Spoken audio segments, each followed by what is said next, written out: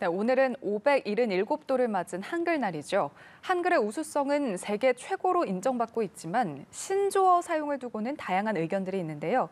다양한 한글 이야기 해주실 분 모셨습니다. 최용기 전 국립국어원 학예연구관 오셨습니다. 어서 오십시오. 안녕하세요. 네. 세종시에서 조금 전에 막 올라오셨다고 들었습니다. 세종시에서 열린 한글날 경축식에 참석을 하시고 올라오셨는데 이 한글날 경축식이 그동안은 계속 서울에서 열렸는데 이번에 처음으로 세종시에서 열렸거든요. 어떤 의미일까요?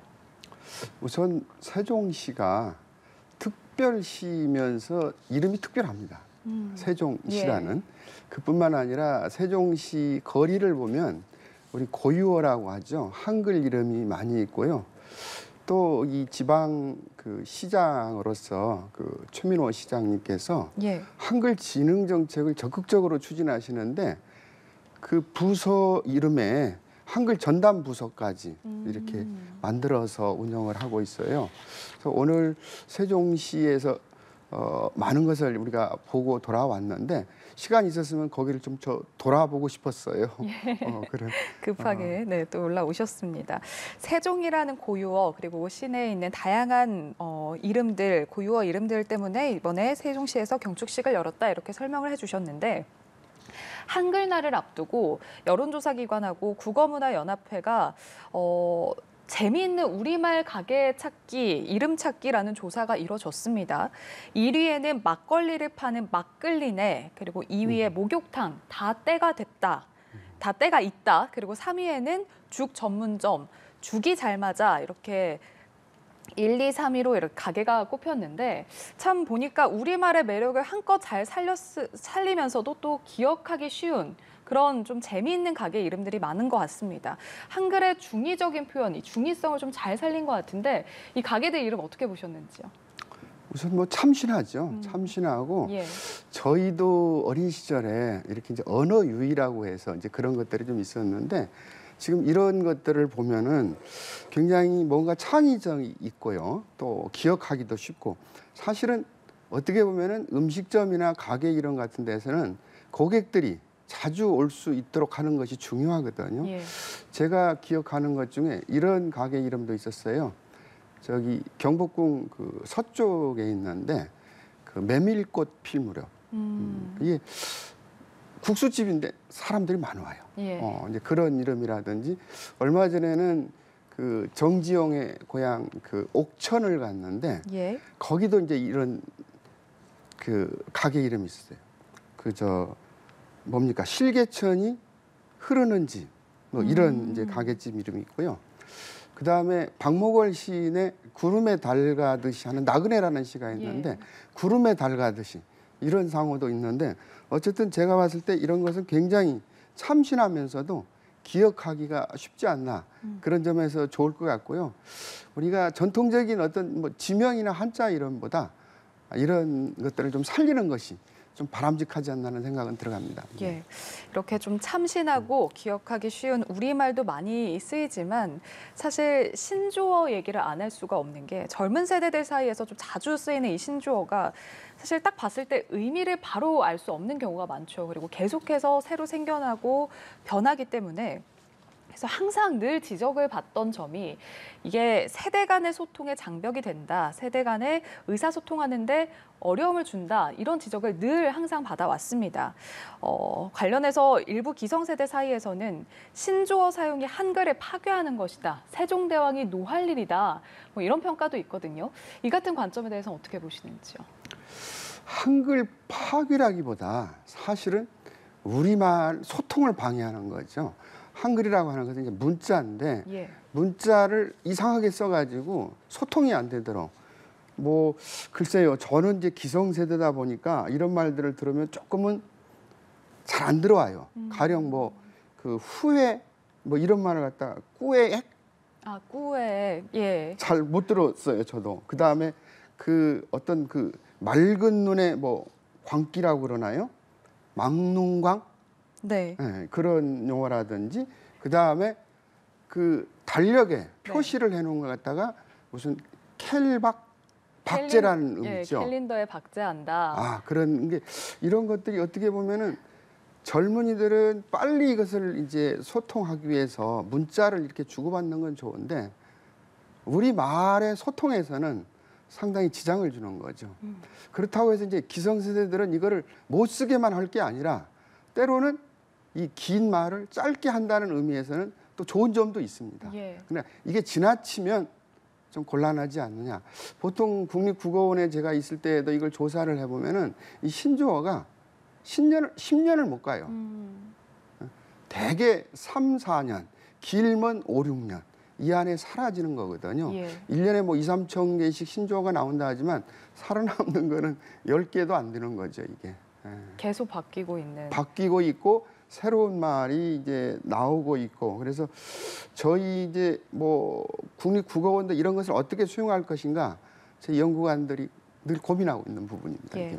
반면에 신조어에 대한 긍정적인 평가도 있거든요. 그러니까 언어라는 건 그 시대를 반영을 하는 것이고 그런 의미에서 봤을 때 신조어도 어떻게 보면 시대상이 반영된 언어 문화다 이런 관점인데 어, 실제로 과거에 좀 사용됐던 신조어들 중에서 국립국어원 개방형 사전에 등재된 언어도 있지 않습니까? 신조어에 대한 국립국어원의 입장은 어떤지 좀 궁금합니다. 개방형 사전이란 말은 사실은 요새는 안 쓰고요. 음. 국립국어원이 그 이름을 우리말샘 아, 이렇게 이제 명칭을 바꿨는데 예. 이 우리말샘에도 몇 가지가 올라갑니다. 가령 우리가 뭐 먹는 방송에서 먹방 먹방. 또 치킨과 맥주의 치매 이런 것들이 이제 계속 거기에 올라가고 있는데 예. 최근에는 저는 이런 것들도 한번 좀 살려봤으면 좋겠어요. 그저 유명한 가수인데 행복하세요, 건강하세요를 줄여가지고 건행하는 가수가 있어요. 아. 그래서 그런 것들도 짧게 예. 두 문장을 갖다가 한 단어로 건행 이렇게 하는 이제 그런 것도 좀 봤고요. 그 다음에 이제 이, 이런 것들을 이제 사전에 저는 올려야 된다고 보는데 뭐 반가 반가, 샤방 샤방 이런 것들은 젊은이들이 만들었지만 재미있거든요. 예. 그러니까 이런 어떤 의성어 같은 거 이런 것들은 조금 올렸으면 좋겠고 반대로 너무 지나치게 줄. 뭐 지몬미 옛날에 나왔지만 네. 뭐 별 다 줄, 음. 별거 다뭐 줄인다. 줄인다 이런 이런 거라든지 예. 그 다음에 왜 우리 그 월드컵 때 그런 게 나왔지 않습니까? 그 중요한 것은 꺾이지 않는 마음이다 해서 아, 중꺾마 중꺾마. 이렇게 줄여버리면 모르죠. 무슨 말인지를 모르는 거죠. 이게 젊은이들은 그런 것을 어떻게든지 빨리 전달을 하고 싶은 건데 예. 이게 지나치지만 않다면 저는 신조어는 긍정적인 그런 평가를 하고 싶어요. 이게. 음. 예. 알겠습니다. 어, 그리고 앞서 얘기해 주셨던 먹방, 치맥 이런 단어가 옥스포드 영어 사전에도 추가가 됐습니다. 아무래도 K 콘텐츠가 세계적으로 널리 퍼지고 또 그리고 우리나라 아이돌이 인기를 얻으면서 뭐 아이돌과 훈민정음을 합쳐서 뭐 돌민정음 이렇게도 불리기도 하는데 지금 세계적으로 우리나라를 배우려는 수요가 늘고 있습니다. 한글이 그만큼 좀 배우기 쉽다라는 방증 아니겠습니까? 그렇죠. 한글은 이제 배우기 쉽다라는 건 틀림이 없는데 예. 지금 옥스퍼드 사전에 지금 뭐 방금 말씀하신 이제 뭐 먹방뿐만 아니라 많은 단어들이 올라갔거든요. 예. 뭐 불고기, 대박, 갈비, 한복, 김밥, 음. 심지어는 이제 우리 친조가라고 하잖아요. 예. 언니, 누나, 오빠 아, 이런 단어들도 이제 많이 올라가 있고요. 예. 이제 한국어의 위상은 과거에 우리가 뭐 그 참 못 사는 나라의 언어 정도로 이렇게 하다가 지금 우리가 이제 경제 발전도 있지만은 경제 뭐 10대국 이렇게 되어 하면서 언어 수준도 어떤 언론에서는 7대 언어에 속한다 이렇게까지 이야기를 하거든요. 이제 그만큼 이제 한국어의 에, 그 위상이 올라간 건데 그 역할을 뭐가 했느냐? 저는 이제 한글이 했다고 봐요. 오늘 제가 여기 책 한두 권을 가져왔는데 예. 이게 이제 원본 훈민정음이거든요. 이게 원본 훈민정음이고 그 다음에 요게 이제 그 언해본 훈민정음. 나란말싸미라고 돼 있는 거는 예. 이건 언해본이죠. 아, 그리고 이제 이 원본 훈민정음 요거는 우리가 해례본이라고 하는데 네. 사실은 사전에 해례란 말도 없었어요. 음, 그래서 이제 해례 본래 훈민정음 이렇게 돼 있거든요. 근데 왜 해례란 말을 쓰느냐? 이 내용을 보면 네. 이거에 대해서 이제 본래 이거는 한자로 기록이 돼 있었어요. 그렇다고 뭐 네. 한자만 있는 건 아닙니다. 중간에 그 한글 우리말 당, 당시로서는 이제 훈민정음 글자죠. 이게 이제 105개 정도가 여기 있거든요. 그런 것도 있지만 이거는 이제 완전히 우리 이제 그 언해본이기 때문에 음, 나란 말싸움이 해가지고 처음부터 이거는 이렇게 이제 우리 글씨로. 어, 이렇게 돼 있는데 이런 것의 역할 여기에 보면은 오늘 또 이제 뭐 기념식에서 그 잠깐 보였는데 정인지라고 하는 당시에 그 이제 그 오늘날 보면 장관급인데 이분이 그런 얘기를 하거든요. 이 한글은 머리가 좋은 사람은 하루 한나자리면 다 깨우친다. 음, 머리가 조금 뒤진 사람도 3일이면 깨우칠 수 있다.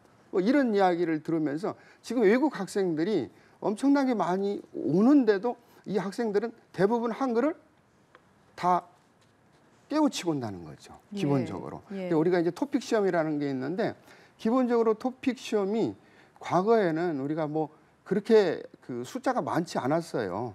뭐 20만 내외인데 지금은 100만, 150만, 뭐 200만까지 이렇게 이제 우리 한국어 능력 시험을 보고자 하는 사람들, 노동자들도 마찬가지입니다. 그분들도 말은 잘 안 되지만 글자는 다 익히고 온다는 거예요. 이게 예. 참이 한글이야말로 어떤 외국의 학자가 그런 얘기했지만 신이 내린 가장 고귀한 선물이다. 이런 얘기까지 합니다. 음. 한글이야말로. 그래서 아마도 세계의 모든 문자 중에서도 어떻게 보면 가장 상위에 있는 문자가 이 한글이 아닌가. 본래 이름은 이제 후민정음이었는데 주시경 선생님이 1910년경에 한글이라는 이름을 썼죠. 예. 예. 자, 조금 전에 언급을 하셨던 부분. 말은 배우기 어려워도 한글은 배우기 정말 쉽다 이렇게 말씀을 하셨는데 그러니까 한글은 정말 말씀하신 것처럼 몇 시간 만에 뗄 수도 있을 정도로 쉬운데 한국어는 어렵다라는 의견들이 많거든요. 그러니까 아무래도 조사도 많고 또 조사에 따라서 의미도 계속 달라지고 또 동의어에 또 존대법까지 있다 보니까 이제 외국인 입장에서는 우리말을 이제 한글은 배우기 쉬운데 한국어를 배우는 건 좀 어렵다 때문에 지금 미국에서도 한국어를 가장 배우기 어려운 언어인 난이도 4로 분류를 하고 있습니다.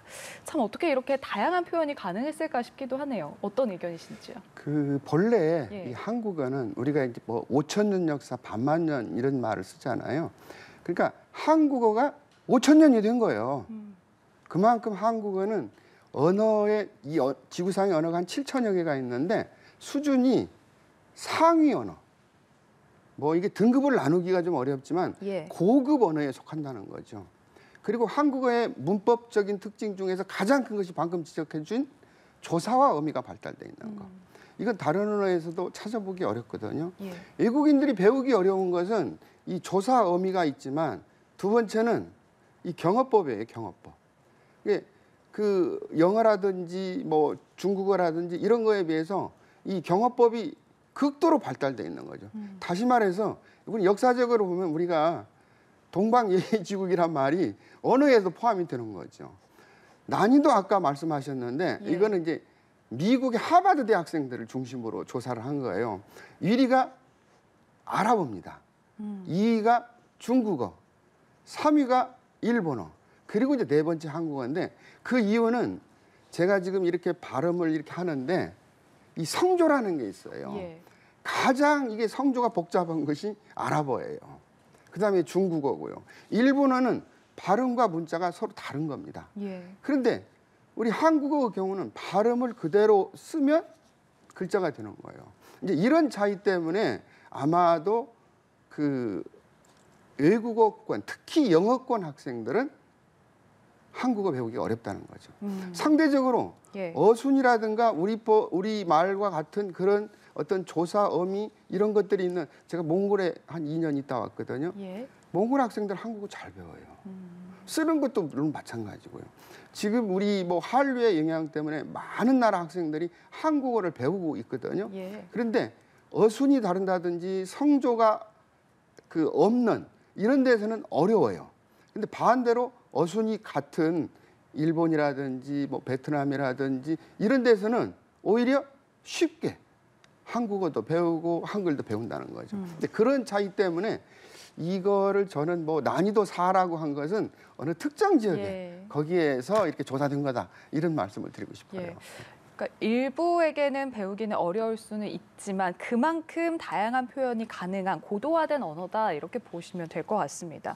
또 최근에 문해력 논란이 있지 않았습니까? 뭐 사흘을 삼일로 안다든지 뭐 심심한 사과, 뭐 지루하고 재미없는 사과, 뭐 고지식하다라는 말을 뭐 지식이 많다 이렇게 좀 잘못 이해를 하고 있는 이 문해력 논란이 있었는데 이런 우려나 논란에 대해서는 어떻게 보고 계신지요?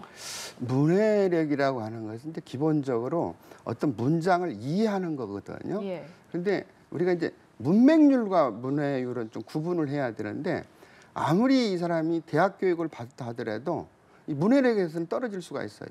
문해력 조사는 되게 이제 그 교육부 평생교육원에서 이 조사를 하는데 한 80% 정도 이제 이런 이제 통계 수치를 이야기하거든요. 반대로 국립국어원은 이제 문맹률 조사를 하는데 98%가 이제 이해를 한다. 어저께 재밌는 제가 이야기를 하나 들었어요. 이게 언론재단에 갔었는데 예. 젊은 세대인데 물론 다 대학을 졸업하고 거기서 이제 직원으로 일하고 있는데 그 윈블던 테니스 대회라고 있어요. 테니스 대회는 모든 그 테니스 선수들이 다 그 동경하고 그리워하는 곳이거든요. 예. 근데 이 제목을 윈블던 테니스 대회 동경에 우리가 그 입성했다. 음. 그러니까 이 동경을 갖다가 우리가 그리워하고 뭐 이런 동경으로 본 게 아니라 예. 일본의 도쿄 아. 그 동경을 갖다가 이거를 그 원룸으로 표기한다고 해서 동경 등장 이렇게 얘기하는 거예요. 이게 음. 그게 아니고 예. 우리가 윈블든 테니스 대회에 선수들이 가고 싶어하는 곳을 그동안 우리가 이뤘다 이런 예. 이야기인데 이게 바로 지금 심심한 사이도 이게 심심한 게 바로 그런 의미가 아니라 깊은 예. 사과라는 뜻이잖아요. 그래서 이런 부분은 제가 보기에는 어느 정도는 조금 그 음. 한자 교육도 어, 필요는 하다고 봅니다. 예. 예. 또 그리고 사실 요즘에 사진이나 영상 같은 그런 디지털 정보를 계속 접하다 보니까 단문에 익숙해져서 긴 글을 읽는 게 좀 쉽지 않다라는 분들도 계시거든요. 문해력을 끌어올리기 위한 해법은 뭐라고 보시는지요? 가장 중요한 건 저는 독서하고 글쓰기거든요. 요새 한국 사람들이 예. 일년에 책을 뭐 다섯 권? 세 권도 안 읽는다고 그래요.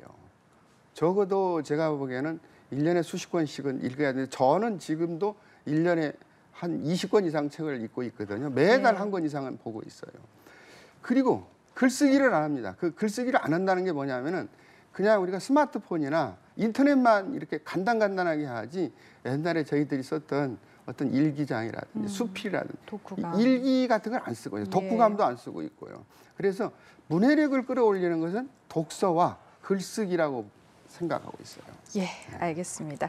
한글날을 맞아서 다양한 한글 이야기 나눠봤습니다. 최용기 전 국립국어원 학예연구관과 함께했습니다. 고맙습니다. 고맙습니다.